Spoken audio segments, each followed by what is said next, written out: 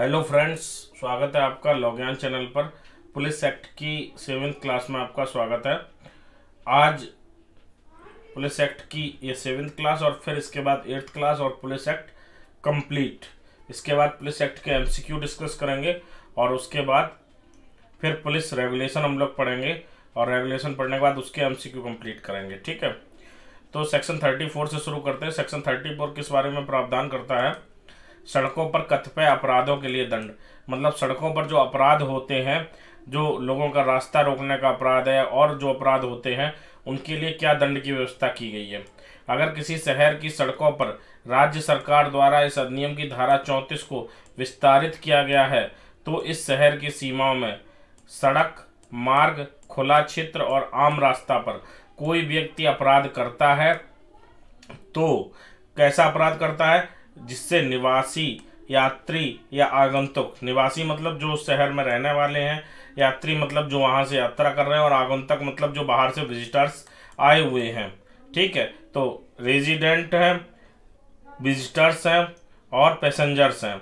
इनको कोई बाधा होती है, असुविधा होती है सड़क पर यात्रा करने में या चलने में, क्षोभ होता है, जोखिम, रिस्क होता है, संकट डेंजर होता है या नुकसान होता है तो ऐसी स्थिति में मजिस्ट्रेट के समक्ष दोष सिद्धि पर आठ दिन के कठोर सश्रम सहित या रहित कारावास से या पचास रुपए से अनधिक दंडित किया जाएगा।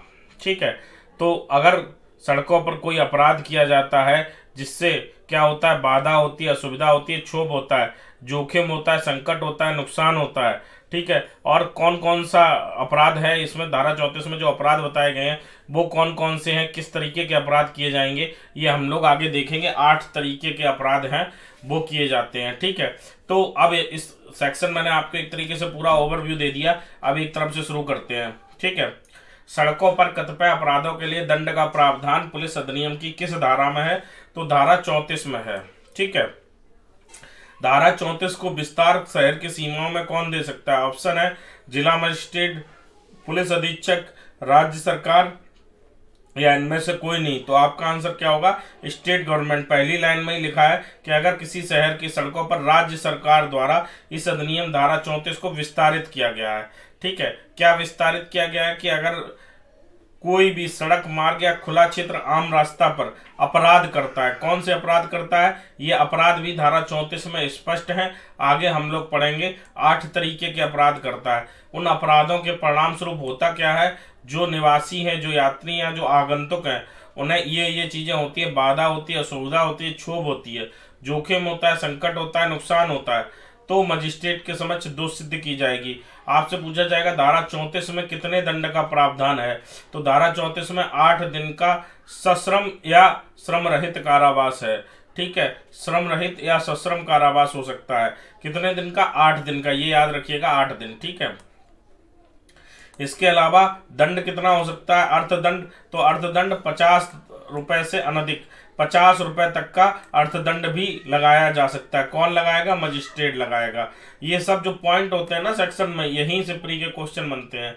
ठीक है? इसके अलावा क्या होगा कि जो अपराध करने वाला व्यक्ति है, अगर पुलिस अधिकारी की उपस्थिति में अपराध करता है तो पुलिस अधिकारी उसे बिना वारंट के अपने कस्टडी में ले सकता है। ये भी सेक्शन चौंतीस बताता है कि अगर पुलिस अधिकारी की उपस्थिति में है तो पुलिस अधिकारी उसको वारंट से गिरफ़्तार करेगा या बिना वारंट के। तो यहाँ स्पष्ट लिखा हुआ कि पुलिस अधिकारी उसको बिना वारंट के कस्टडी में ले सकता है। ठीक है, अगर पुलिस अधिकारी की उपस्थिति में ऐसा अपराध किया जाता है, अब देख लेते हैं कौन कौन सा अपराध किया जाता है। ढोर, बद या बेतहासा सवारी की जाती है। ठीक है? कोई भी इस तरीके से सवारी कर रहा है जिससे जो बेतहासा मतलब जो आड़े तिरछे तरीके से या इस तरीके से कर रहा है, जिस तरीके से नहीं करनी चाहिए या कोई जीव जंतु के साथ निर्दयता कर रहा है जीव जंतु को मार रहा है, यात्रियों को बाधा पहुँचा रहा है, कोई सड़क पर ऐसा काम कर रहा है जिससे निकलने वालों को असुविधा हो रही है। विक्रय के लिए वस्तुओं को अवदर्शित कर रहा है मार्ग पर ही अपनी दुकान पूरी लगा डाली है, ठीक है? मार्ग पर धूल या कूड़ा फेंक रहा है। मत या बलवात्मक पाया जाता है। बलवात्मक मतलब एक तरीके से मत मतलब आप समझ ही रहे हैं टॉक्सिक मतलब शराब पिया है या किसी अन्य तरीके का नशा किया हुआ है। बलवात्मक मतलब जो एकदम कहना चाहिए कि पगलाया हुआ है, अगर साधारण भाषा में कहे। ठीक है, शरीर का अशिष्ट अभिदर्शन कर रहा है। मतलब वह अपने शरीर के अंगों को इस तरीके से दिखा रहा है जो अशिष्टता के तहत आता है। या संकटपूर्ण संकटपूर्ण स्थानों के संरक्षण में उपेक्षा कर रहा है। कोई अगर संकटपूर्ण स्थान है, उसके संरक्षण में उसकी ज़िम्मेदारी बनती कि वह उपेक्षा ना करे, अगर उपेक्षा कर रहा है। ऐसा कोई भी कार्य करता है है ना? धारा चौंतीस में ये आठ तरीके के अपराध वर्णित हैं अगर इनमें से कोई भी कार्य करता है जिससे क्या होता है?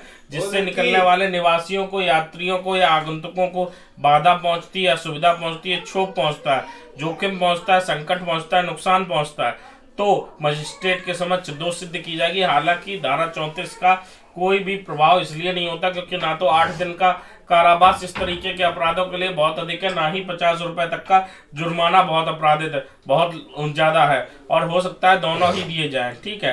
तो ये बस आप अपने सेक्शन को याद करने की दृष्टि से देख लीजिए।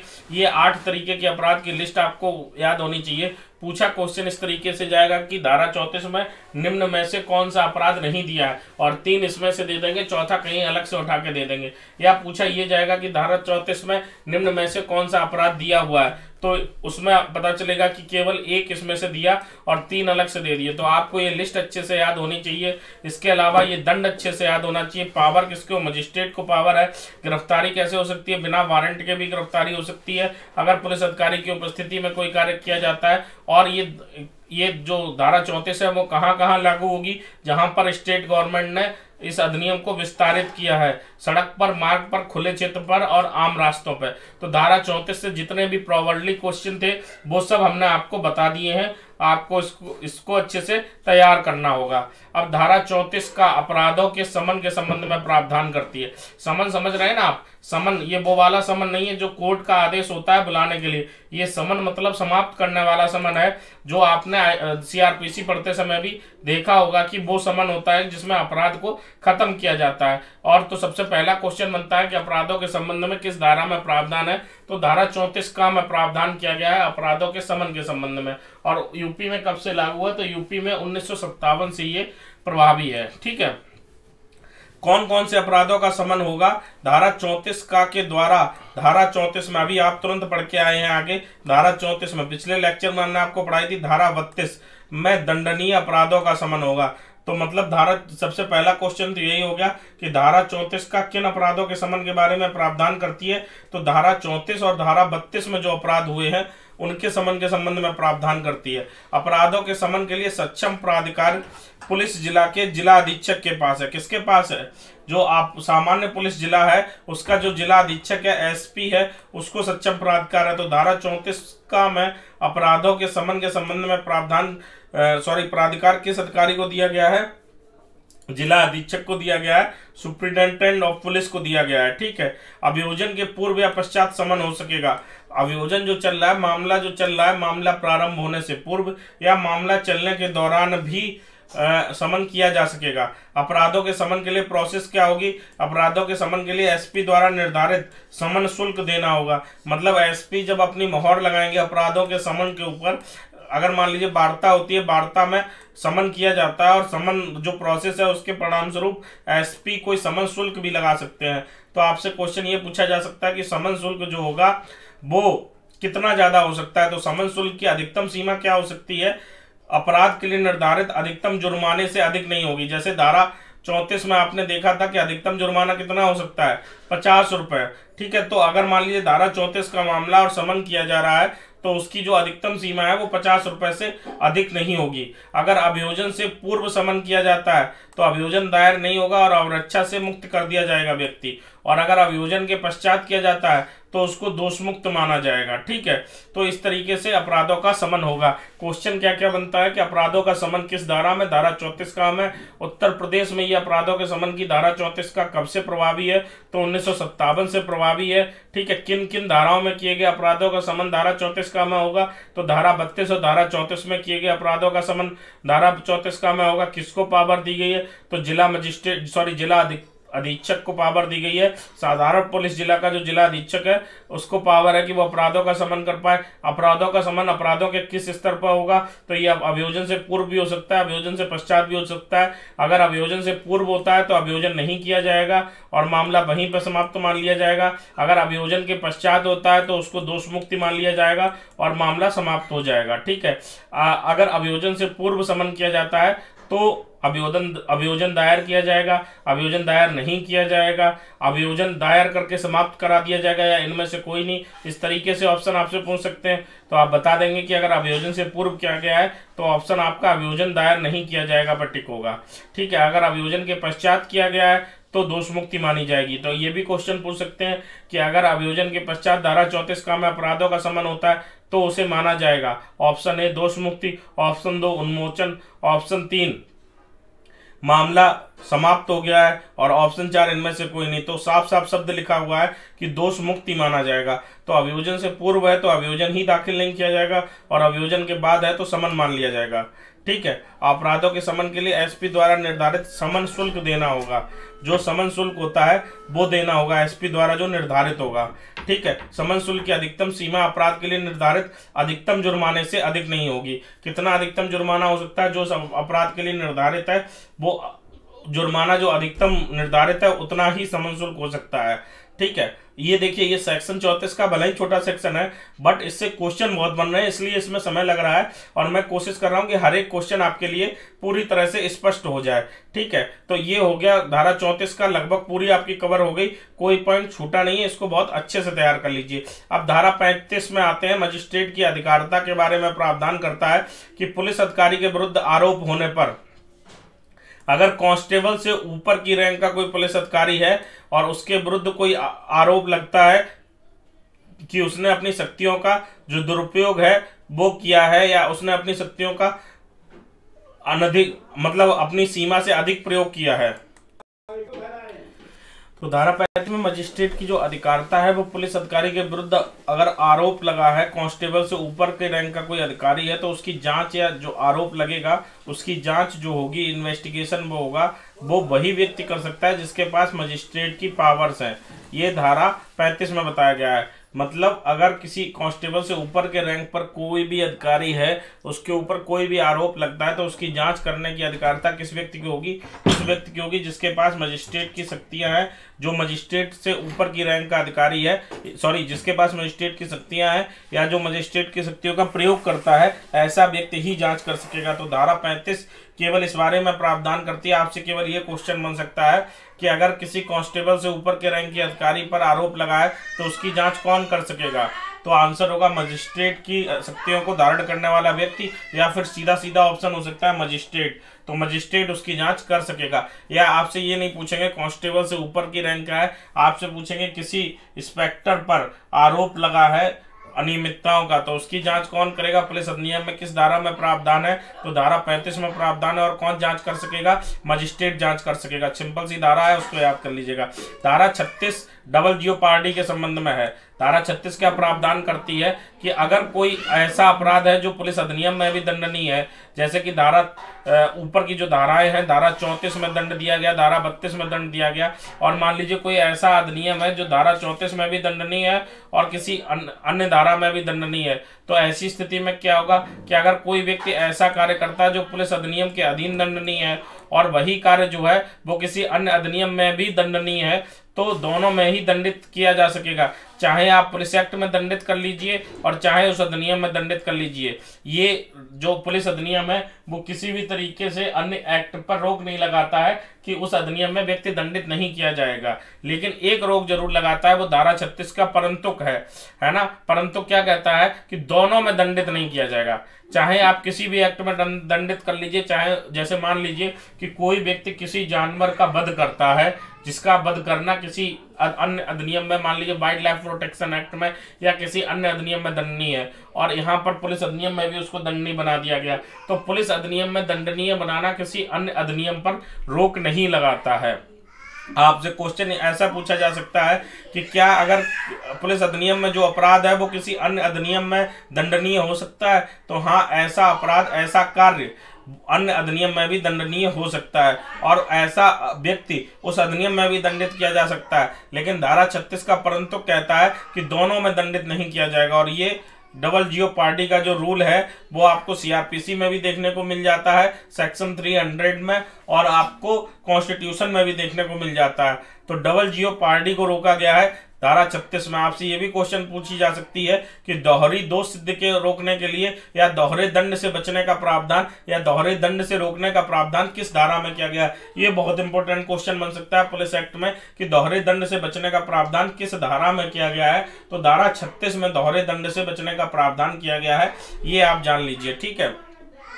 शास्त्रीय और जुर्माने की वसूली, धारा सैंतीस। अगर किसी व्यक्ति पर मजिस्ट्रेट के समक्ष दोष सिद्ध के बाद जुर्माना अध्रोपित किया जाता है, मान लीजिए अगर मान लीजिए जो जितनी धाराएँ ऊपर दी गई, जहाँ जहाँ जुर्माना बताया गया है, कहीं पचास रुपए, कहीं दो सौ रुपए तो जो जुर्माना आरोपित हो गया तो उस पर फिर आईपीसी की धारा चौसठ से सत्तर और सीआरपीसी की धारा तीन सौ छियासी से तीन सौ नवासी लागू होगी और धारा चौंतीस के अधीन जुर्माने से दंडाविष्ट कोई व्यक्ति अगर जुर्माने से व्यतिक्रम करता है तो आईपीसी की धारा पैंसठ में किसी बात के होते हुए भी आठ दिन से अनधिक कारावास से कारावासित किया जा सकेगा। मतलब धारा सैंतीस जो है, वो जुर्माने के संबंध में है कि अगर जुर्माना आरोपित किया गया तो उस जुर्माने की वसूली किस प्रकार से होगी और उस जुर्माने का अगर कोई पालन नहीं करता है तो उसको क्या दंड दिया जा सकेगा? धारा सैंतीस को सामान्य शब्दों में समझें तो मूल रूप से ये कहती है कि अगर किसी व्यक्ति पर जुर्माना लगाया गया है, जुर्माने का दंड दिया गया है तो उस पर आईपीसी की धारा चौंसठ से सत्तर भी लागू होगी और सीआरपीसी की धारा तीन सौ छियासी से तीन सौ नवासी भी लागू होगी, जो जुर्माने के संबंध में प्रावधान करती हैं। ठीक है, ये एक तो सिंपल बात हो गई। ठीक है, ये दोनों धाराएँ लागू होंगी। तो आपसे क्वेश्चन ये बन सकता है कि अगर किसी व्यक्ति पर पुलिस अधिनियम में जुर्माना लगाया गया है तो उसके वसूली के संबंध में प्रावधान किस धारा में है? तो आपका आंसर होगा धारा सैंतीस में इसके संबंध में प्रावधान किया गया है। जो जुर्माने की वसूली की प्रक्रिया क्या है तो आईपीसी की धारा चौसठ से सत्तर और सीआरपीसी के प्रावधान लागू होंगे। क्वेश्चन इस तरीके से बन सकता है कि पुलिस एक्ट में लगे हुए जुर्माने को निम्न अधिनियम के तहत वसूला जा सकता है। IPC CrPC IPC and CrPC इनमें से कोई नहीं। आंसर होगा आईपीसी एंड सीआरपीसी क्योंकि आईपीसी और सीआरपीसी दोनों में जुर्माना वसूली की जो प्रक्रिया दी गई है, वो पुलिस एक्ट पर लागू होगी। इस बारे में प्रावधान धारा सैंतीस कर रही है। लेकिन कहा क्या गया है कि सब धाराएँ लागू होंगी, जैसी हैं वैसी लागू होंगी। लेकिन धारा पैंसठ जो है, उस उसके प्रावधान उस हद तक लागू होंगे कि जो व्यक्ति है, अगर जुर्माना नहीं देता है तो उसे मैक्सिमम आठ दिन का कारावास दिया जा सकेगा। धारा पैंसठ में जो व्यवस्था एक चौथाई वाली है, वो लागू नहीं होगी। वो लागू नहीं होगी।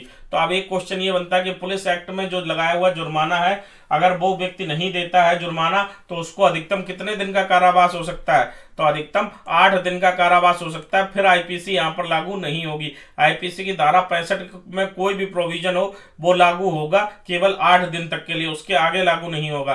तो क्वेश्चन सिंपल बनेगा कि धारा, पुलिस अधिनियम में धारा सैंतीस में जो दंड दिया गया है, जो जुर्माने की वसूली के संबंध में प्रावधान है, उसके अनुसार अगर कोई व्यक्ति जुर्माना नहीं देता तो कितने दिन का अधिकतम कारावास दिया जा सकता है? तो आठ दिन का अधिकतम कारावास दिया जा सकता है। तो हमें लगता है कि मैंने जितना ज़्यादा सिंपल हो सकता था, उतना ज़्यादा सिंपल करके आपको पुलिस एक्ट का ये लेक्चर पढ़ाया।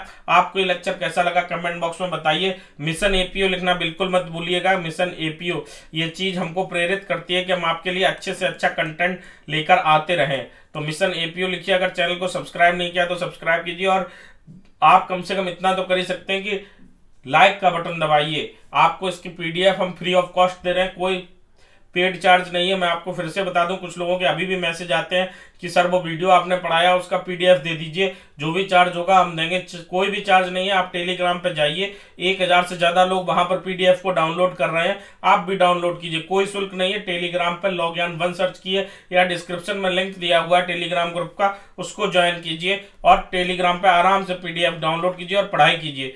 पैसा आपकी पढ़ाई में बाधा नहीं बनेगा एपीओ की पूरी तैयारी आपको लॉग इन फ्री में कराएगा, ठीक है? तो बार बार हमको मैसेज या कॉल करने की भी ज़रूरत नहीं है कि, सर, इसका पेड ग्रुप क्या? कोई पेड ग्रुप नहीं है। पेड ग्रुप का पूरा मटेरियल आपको फ्री में मिल रहा है। पुलिस एक्ट की ये सातवीं क्लास थी, आठवीं क्लास में हम लोग पुलिस एक्ट कंप्लीट कर लेंगे, एक बार देख लेते हैं। धारा हम लोगों ने सैंतीस तक यहाँ पर कंप्लीट कर दिया है, और ये पहले ही मैं बता चुका हूँ कि अड़तीस से इकतालीस धाराएँ आपकी निर्सित हो चुकी हैं। तो अब ये बची हुई जो धाराएँ हैं, वो एक वीडियो में हम लोग कवर करके, बयालीस से सैंतालीस, इनको एक वीडियो में कवर करके, फिर उसके बाद इसके एमसीक्यू पर चलेंगे।